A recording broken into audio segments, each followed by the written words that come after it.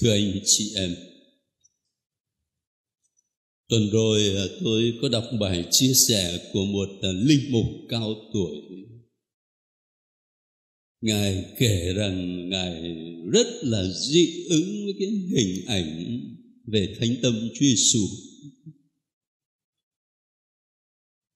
Tại vì Ngài nghĩ là nó nó ủy mị quá, nó nữ tính quá,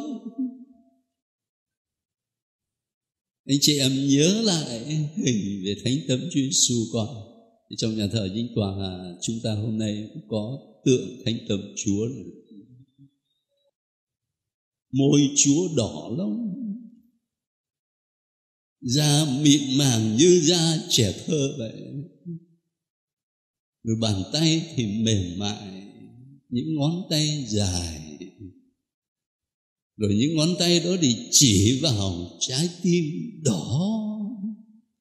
Quý vị linh mục đó nói là ông ấy thế nó nữ tính quá, Nó nặng tình cảm, ủy mị quá cho nên là ông dị ứng.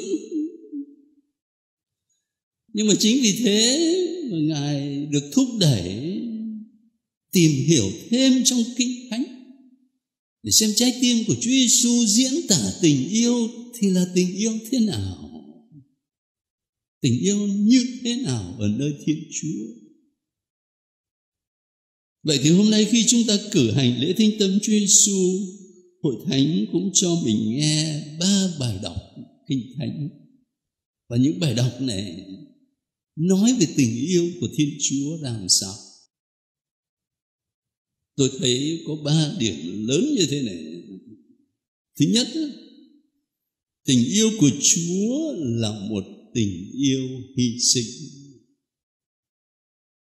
Thánh Gioan ở trong bài tin mừng kể lại cho chúng ta một chi tiết mà chỉ có ở trong tin mừng do Gioan thôi.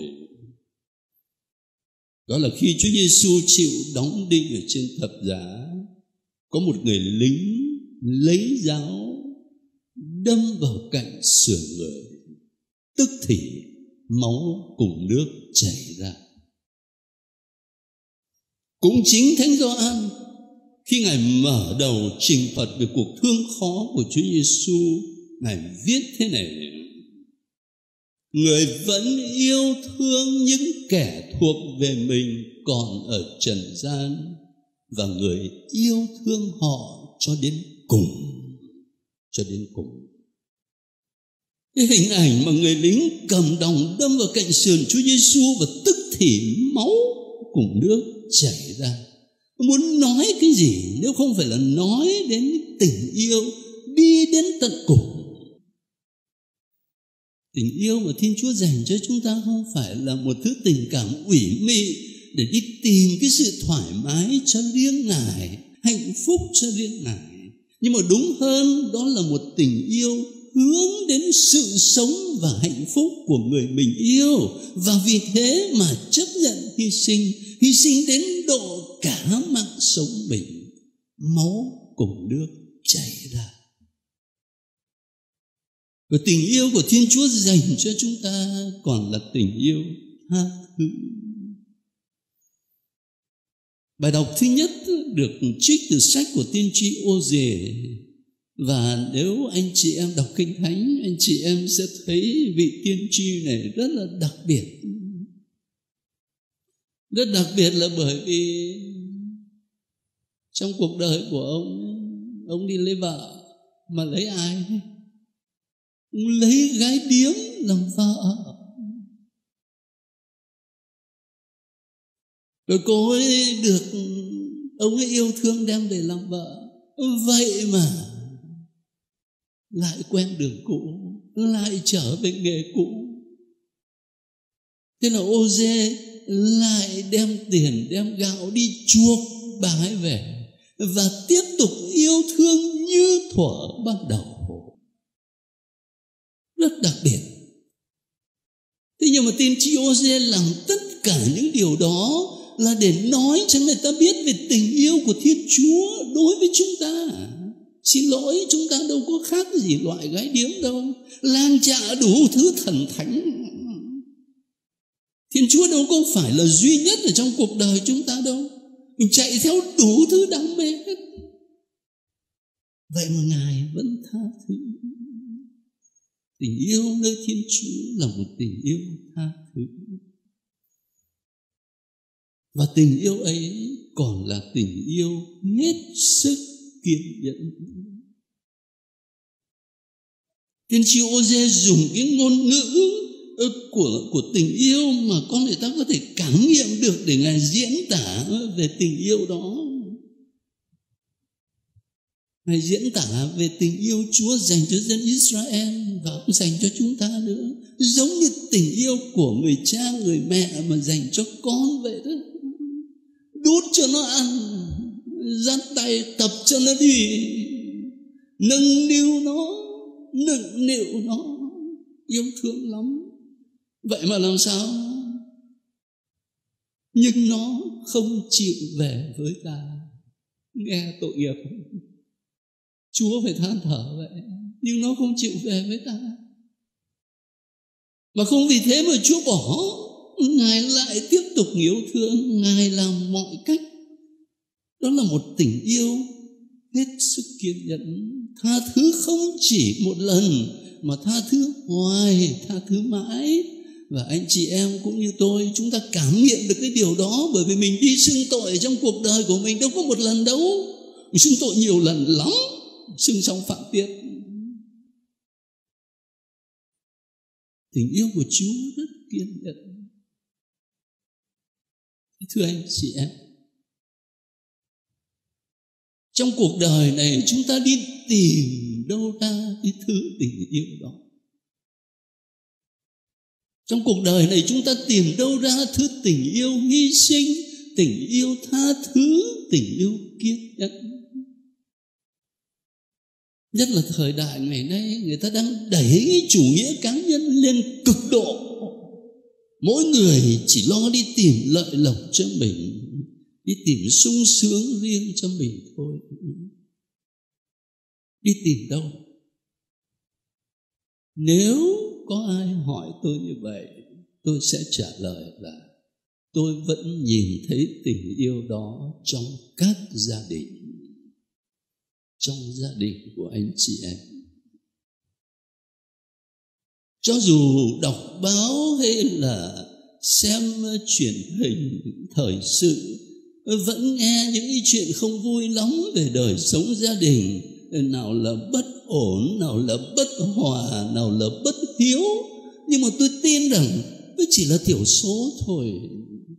Còn hầu hết nơi các gia đình, công giáo chúng ta, nó vẫn có thể gặp được ở đó một tình yêu đích thực. Nó gặp được ở đó một tình yêu hy sinh khi mà cha mẹ sẵn sàng chấp nhận mọi sự vất vả để cho con cái được đầy đủ, được hạnh phúc. Khi mà những người con hết lòng phụng dưỡng cha mẹ, khi cha mẹ về già, khó tính, khó biết ở nơi gia đình của anh chị em, tôi có thể nhìn thấy một tình yêu tha thứ.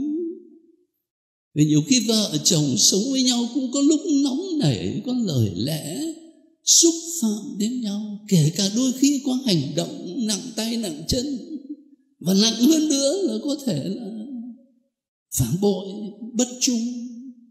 Nhưng mà rồi vẫn biết tha thứ cho nhau, để lo cho con cái được hạnh phúc. Và tôi cũng gặp được cả tình yêu kiên nhẫn. Khi trong gia đình có những đứa con nó ngỗ nghịch, nó hư hỏng không biết vâng lời cha mẹ. Nhiều lần chứ không phải một lần. Vậy mà các bậc cha mẹ vẫn yêu thương con, vẫn tìm mọi cách để đưa con về. Chỉ mong cho nó sống tốt, nó sống hạnh phúc. Thưa anh chị em, chính nơi gia đình của anh chị em mà chúng ta có thể thấy được tình yêu kinh thánh nói về tình yêu của Chúa. Năm nay 2021